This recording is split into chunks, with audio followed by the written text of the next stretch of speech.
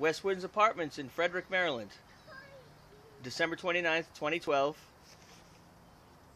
Just about 20 after 4 in the afternoon. I'm assuming the uh, trash pickup for that was scheduled for today actually happened because the dumpster's nearly empty.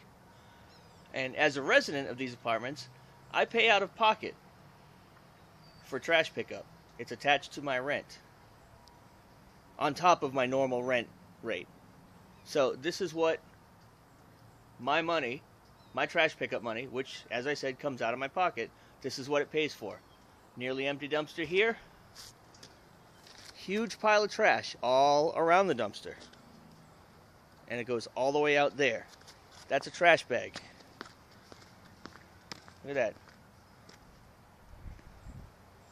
All this. This happens to be the dumpster at 1084. Yep.